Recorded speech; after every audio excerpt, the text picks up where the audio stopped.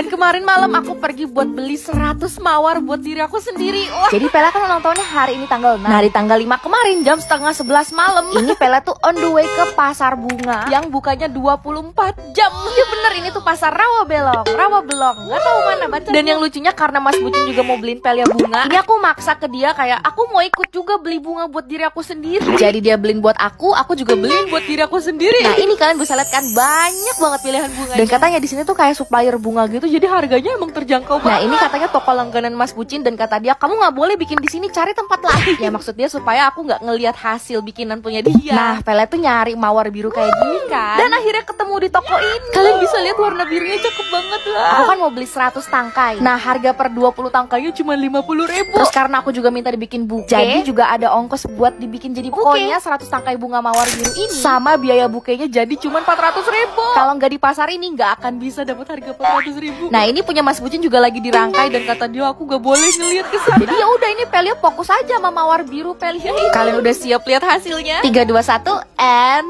Voila! Wah ini sesuai sih sama ekspektasiku warna biru yang super By the way cantik. kalian tau gak sih abangnya nanya beli buat siapa Neng? Buat diri saya sendiri bang. Terus abangnya nanya emang gak dikasih bunga sama yang lain? Terus aku bilang tuh Mas Bucin juga ngasih. Udah Mas Bucin juga bener-bener nutupin bunga dia Wah bunga biru ini aku pakai buat foto hasilnya di Instagram. Bye bye love you. Hai Hari ini Ayo ikut Pelia buat temenin mamiku belanja ke pasar tradisional. Jadi pas aku balik dan main ke rumah Ini aku ngikut mami aku buat pergi ke pasar tradisional. Dulu pas Pelia masih SD sering banget nemenin mami aku buat pergi ke pasar belanja-belanja. Jadi ini sangat amat bikin kayak nostalgia gitu loh. Nah pertama ini aku tuh pengen makan dulu. Ini tuh kan pasarnya deket rumah. Jadi mami aku tuh sering banget beli bihun dan makan di sini. Nah sembari nunggu bihunnya, ini Pelia mau makan kerupuk. Asli kerupuknya enak banget. Aku lupa ini harganya berapa, tapi kalau nggak salah cuma lima ribu. Rasa kerupuk ikan gurih asin, wah, eh 10 per 10 Dan tada, ini dia bihunnya. Ini bihun ayam jamur dan aku suka banget pakai pakai si acar cabenya ini nih. Dan yang paling aku suka juga dari bihun ini tuh kuahnya. Kalau misalnya kalian tinggal di daerah dekat rumah mamiku ini nih Terus kalau kalian ke pasar ini wajib buat cobain bihunnya. Ingat pakai cabai yang banyak pakai acar atau asinan cabai yang tadi tuh Dan dituangin kuah kaldu. Wah, ini Pelia ngeditnya aja ngiler lagi, aduh. Nilai buat bihunnya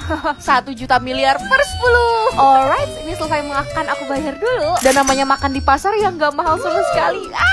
Oke, balik ke tugas utama. Ini kan aku memang mau nemenin mamiku. Pertama-tama katanya dia pengen beli timun. Ini Pela bantu cariin timun yang dia mau. Dia maunya yang gak terlalu gede dan ternyata susah nyarinya. Lanjut ditimbang pakai timbangan legend di pasar nih yang kayak gini. Kalau nggak salah mamiku beli 8 timun harganya sepuluh ribu rupiah. Jadi kalau Pelia belanja di supermarket mana dapat? Tuh kalau ke pasar tradisional juga selalu ada kucing-kucing kampung gini yang lagi bobo-bobo Dan serius di pasar ini nggak berhenti suara lato-lato di mana pun. Terus lanjut ini mami aku juga beli serai dengan abangnya yang duduk di atas situ ya. Dan ini mami aku juga beli bawang merah. Ditimbang-timbang lagi. Terus ini mami aku juga mau beli telur ayam kampung. Dan ini sepanjang mami aku ngebayar barang-barang tadi aku kayak ngomong murah ya di sini. Terus kalau dulu pas SD nih pas kecil aku selalu minta jajanan-jajanan kayak gini. Jadi ya udah deh ini aku beli satu kue khas khas mana ya Kalau ini? nggak salah dan harusnya sih ini namanya kue jungkong.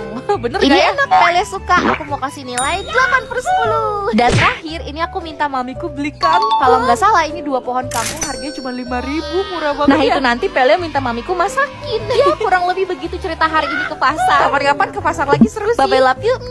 Hai, ayo kita cobain baju tidur yang sering dipakai sama Bunda Korla.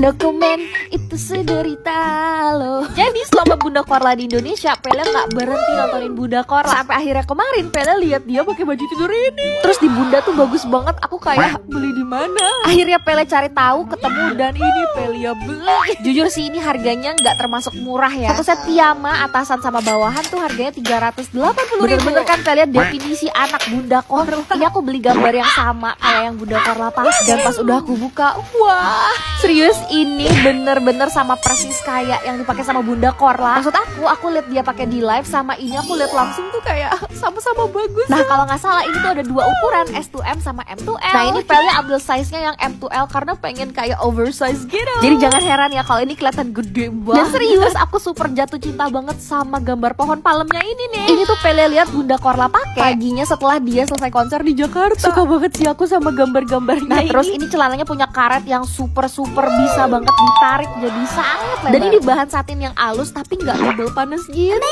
jujur dengan harga 380.000 ribu menurut aku ini sangat amat worth it karena bahannya bagus, jahitannya rapi, ya model sama perintan gambarnya juga Pelia suka. Sekarang kita tinggal buktiin ini pola bajunya bagus nggak ya kalau di badan Pelia. And voila.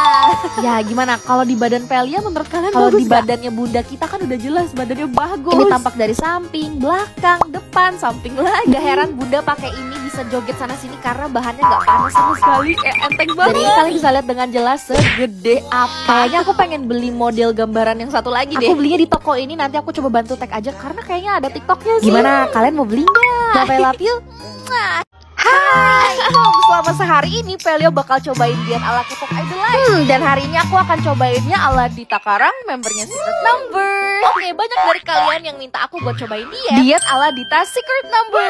Nah, biasanya sebelum aku cobain dietnya, aku tuh suka nyari tahu dulu kan ini dietnya apa. Tapi ini pas Bella cari tahu. Ternyata nggak ada informasi jelas Kak Dita tuh dietnya kayak gimana. Bahkan yang Pela baca dia bebas mau makan apa aja boleh. Tadi ini Pela ketemu video. Oh, ada vlognya Kak Dita. Nah jadi kita coba ikutin aja sehari kegiatan dia tuh kayak gimana dan kira-kira akan turun gak di beratnya. Pertama yang Pela lihat Kak Dita tuh gak sarapan sama sekali. Bayangin dia langsung pergi olahraga. Jadi Pela juga mau pergi olahraga dan mari kita nimbang. Alright, seberat Pela di pagi hari segini ya guys. Ini Pela udah siap buat pergi olahraga dan aku mau olahraganya di tempat gym aja. Karena di sini lengkap jadi Pela bisa ngikutin nih Kak Dita olahraganya ngapain aja. Sebelum olahraga jangan lupa kita harus warming up nih, pemanasan maksudnya. Oke, jadi olahraga yang Pele lihat Kak Dita tuh lari ngelilingin studio. Jadi ini Pelia kardio dulu hingga lelah dan rasanya eh, mau berhenti aja banget. Terus olahraga lainnya yang Kak Dita lakuin. Pele perhatiin dia olahraga tuh tanpa alat berat. Jadi ya udah ini Pele ikutin deh. olahraganya kelar. Ini aku udah lapar banget sih jujur Tapi sebelum makan wajib kita harus mandi dulu Karena udah keringetan bau. Apalagi rambut Pelia lepek banget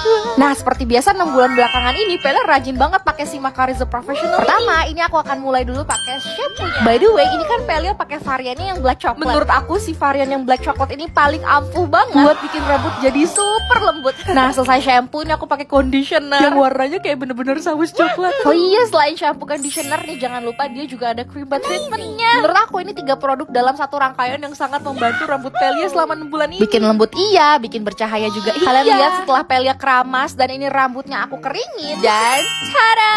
Salah-salah harusnya and voila. Lihat kan rambutnya lembut, bercahaya. Dan batang rambutku minim sama yang kering-kering pecah gitu. Wah kalian wajib sih cobain Macarizo Professional. Oke kelar nge-gym, mandi, udah wangi Sekarang lapar kan? Ini waktunya buat kita makan. Karena di vlog itu Pele lihat Kadita makannya salad. Jadi ya udah nih Pele ikutin buat makan salad. Nah kebetulan Pele suka sayur mentah kayak gini Jadi menurut aku ini enak banget sih. Kalorinya kecil, nggak menyiksa dan Pele suka Lanjut ini buat makan malamnya. Di vlog itu Kadita makan sushi kayak gini nih Sushi inari. Jadi kayak nasi dikepal terus dikasih kulit tahu di luarnya. Rasanya lucu, berair, gurih, manis, ada wangi wijennya. Tapi serius ini kan Kadita makannya dibebasin Aku salut dia makannya tetap sehat. Coba Pelia.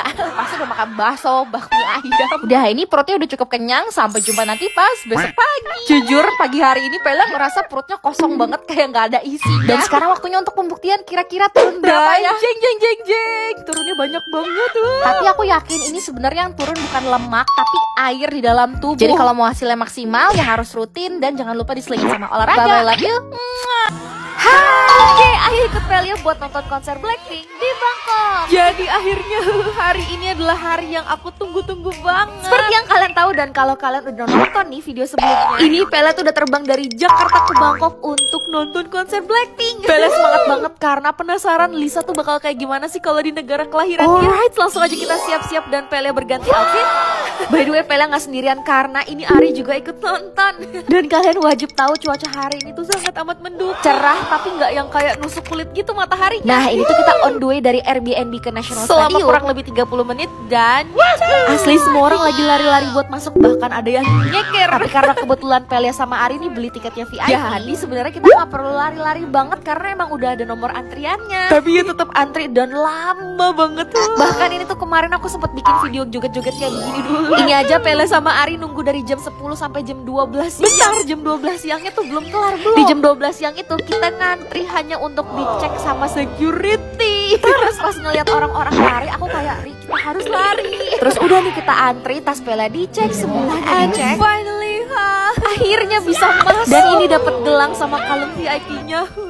Seneng banget mau nangis sekarang. Enggak, enggak sampai situ sih. Ini kita masih harus antri lagi cuma. Di sini ngantrinya tuh slow banget. Kita bisa makan, bisa foto-foto. Jadi antriannya bisa kita tinggal sembari makan, foto. Dan kalau misalnya kalian follow Instagram Pelia pasti tahu kan light stick Pelia rusak. Jadi akhirnya ini aku mampir ke booth merchandise-nya buat beli light stick lagi.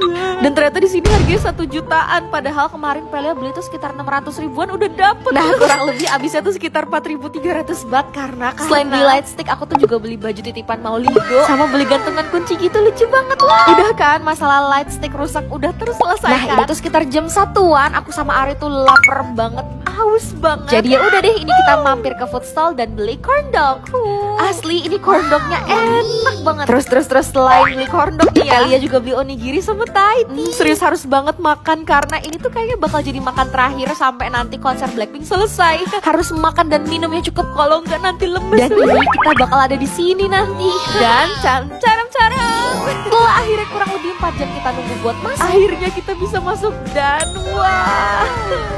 Ini aku sama Ari tuh dapat privilege untuk ikut soundcheck wah. Dan pas soundcheck ini aku banyak banget ngeliat Lisa dari dekat Karena kalian lihat sendiri kan Aduh nggak tahu ini sebenarnya orang apa boneka sih lu Lisa? Dan selesai soundcheck di jam 7 malam Shownya dimulai. Aku nggak bisa berkalimat-kalimat lagi. Kalau kalian pengen lihat fancam lengkapnya Cek aja di Instagram Pelia Karena terlalu banyak Aku nggak mungkin bisa upload di TikTok. Kayaknya ini salah satu hari terbaik dari tahun 2023 Gak tahu pengen nangis sekarang. Impian aku terwujud dan ini juga berkat kalian. And now it's time to Bye say bye. love you.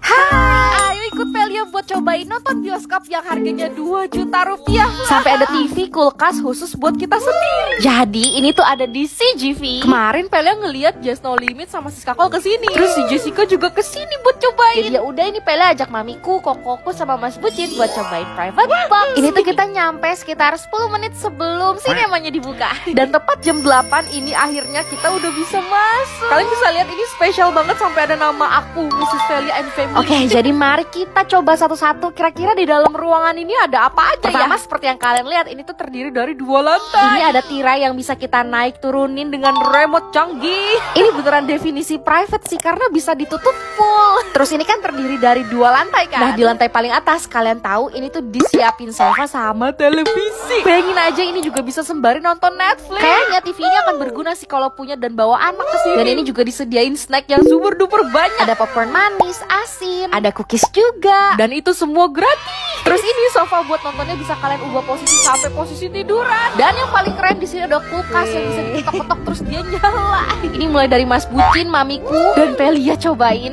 Canggih banget sih ini berapa ya harganya? Nah di samping kulkas ini tuh ada UV sterilizer. Ya bener gak sih? Jadi ya udah ini Mas Bujin masukin jaketnya supaya di steril. Jadi nanti pas kelar nonton jaketnya udah bersih dari virus-virus.